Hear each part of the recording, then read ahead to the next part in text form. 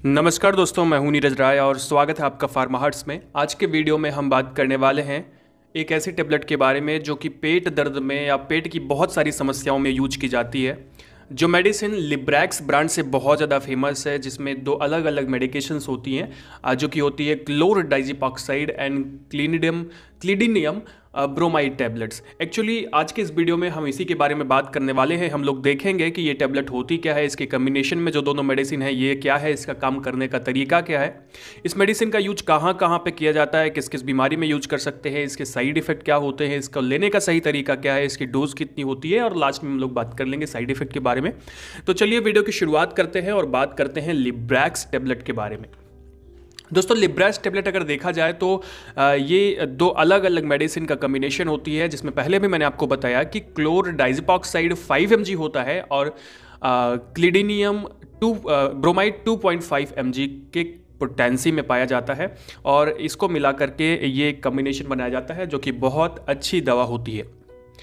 दोस्तों, क्लो, अगर ये बात करें डिटेल में कि क्लोर डाइजोपॉक्साइड क्या है तो क्लोर डाइजोपॉक्साइड एक प्रकार का बेंजोडाइजेपिन क्लास से बिलोंग करने वाली मेडिसिन है, जो कि आपके बॉडी में एनेक्जाइटी को रिड्यूस करती है और आपके ब्रेन को शांत करती है। ये हमारे बॉडी के अंदर में गाबा जो केमिकल्स होते हैं केमिकल मैसेंजर होते हैं उसको इंक्रीज करके हमारे ब्रेन को शांत करती है, काम करती है। एंड uh, अगर हम बात करें क्लिडिनम uh, के बारे में तो क्लिडिनम ब्रोमाइड एक प्रकार की एंटी स्पास्मोडिक मेडिसिन होती है। एंटी स्पास्मोडिक क्लास से बिलोंग करती है। और uh, ये हमारे जो गट है यानी कि हमारा जो स्टोमक और इंटेस्टाइन है उसकी मसल्स को रिलैक्स करती है। उसको रिलैक्स करके जो क्रैम्प की शिकायत होती है ऐठन की शिकायत होती है मरोड़ होती है उसको ठीक करने का काम करती है। तो जब ये दोनों मेडिसिन साथ में दी जाती हैं तो बहुत अच्छा वर्क करती हैं। अब अगर हम बात करें इसके लिब्रैक्स के अलावा और कौन से ब्रांड्स मार्केट में अवेलेबल हैं तो बहुत सारे ब्रांड आते हैं, जैसे ये जिस्पा के नाम से आती है, लोगिरेक्स के नाम से आती है रिप्स के नाम से आती है। बट रिप्स में क्या होता है कि डाइक्लोफिनैक भी मिला दिया जाता है, ऐसे दर्द में भी ये राहत देती है। एंड यूलिक के नाम से आती है, लिपोपिल के नाम से है, लिप नाम के नाम से आती है, और सेरेकॉन के नाम से आती है। देखो, इसके अलावा भी बहुत सारे ब्रांड्स मार्केट में अवेलेबल हैं, आपके एरिया में अलग अलग ब्रांड हो सकते हैं। आपको जो भी ब्रांड अच्छे लगते हैं, आप वो ब्रांड यूज़ कर सकते हैं। अब जो भी आपको आसानी से मिल जाता है एक्चुअली आप वो यूज़ कर सकते हैं, या फिर डॉक्टर ने आपको जो प्रेस्क्राइब किया है। कोशिश करें कि जेनरिक अगर मिल पाए तो जेनरिक ही ले, क्योंकि जेनरिक इसलिए क्योंकि वो सस्ती मिलेगी और आपको फ़ायदा लगभग उतना ही करती है। अब अगर हम बात करें लिब्रैक्स के यूज़र्स के बारे में कि इसका यूज़ कहाँ कहाँ पे किया जाता है तो इसका यूज़ हम लोग गट डिसऑर्डर्स में करते हैं अलॉन्ग विद अदर मेडिकेशन देखा गया है कि लिब्रैक्स का यूज़ कॉमनली केवल सिंगल मेडिसिन का यूज़ नहीं किया जाता है, इसको दूसरी मेडिसिन के साथ में दिया जाता है। और गट डिसऑर्डर्स यानी कि आपके स्टमक और इंटेस्टाइन के डिसऑर्डर्स में इसका यूज़ करते हैं, जैसे कि गैस्ट्रियास्टिस में इसका यूज़ करते हैं, यानी कि आपके पेट में इन्फ्लामेशन है, उसमें यूज़ करते हैं डिस्पेप्सिया में यूज़ किया जाता है, यानी कि अपच में इसका उपयोग करते हैं, पेट में गैस है तो उसमें यूज़ करते हैं, जैसे गैस्ट्राइटिस में हो गया ना। अल्सर में इसका यूज़ किया जाता है। अल्सर में क्या होता है कि कि आपके पेट में, आपके स्टमक में घाव बन जाते हैं, जिसको पेप्टिक अल्सर कहते हैं आपके गट के किसी भी पार्ट में अल्सर हो गए हैं तो वहाँ पर लिवरैक्स का यूज़ किया जाता है।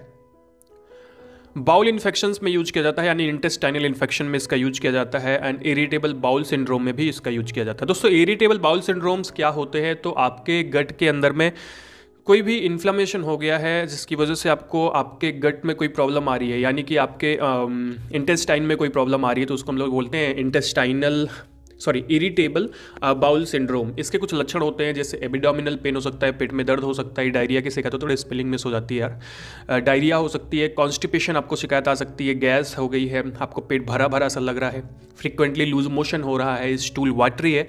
ये सब इस सिंड्रोम के जो ग्रुप ऑफ़ सिम्टम्स हैं वो ये होते हैं। इसके अलावा भी कुछ होते हैं, पेट में आपको प्रॉब्लम जब होती है। नेक्स्ट हम बात करें लिब्रैक्स टेबलेट्स जब आप लेने जा रहे हैं तो सबसे ज़रूरी चीज़ कि कौन कौन सी बातों को आपको ध्यान रखना है। तो सबसे पहली चीज़ तो आपको अल्कोहल के साथ में इसको कभी भी यूज़ नहीं करना है। इसके बहुत ज़्यादा साइड इफ़ेक्ट आपको पड़ सकते हैं।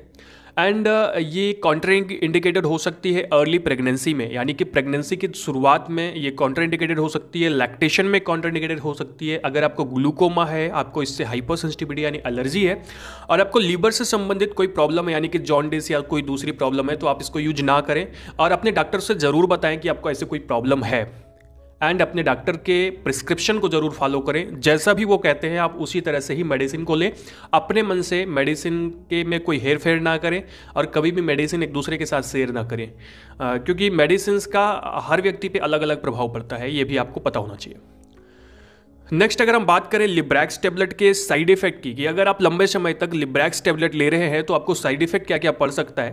तो सबसे पहली चीज़ तो आपको पता है ना कि इसमें जो क्लोर डाइजेपॉक्साइड होता है, वो ब्रेन को कामनेस देता है। क्योंकि ब्रेन को कामनेस देता है तो आपको स्लीपीनेस महसूस होगा।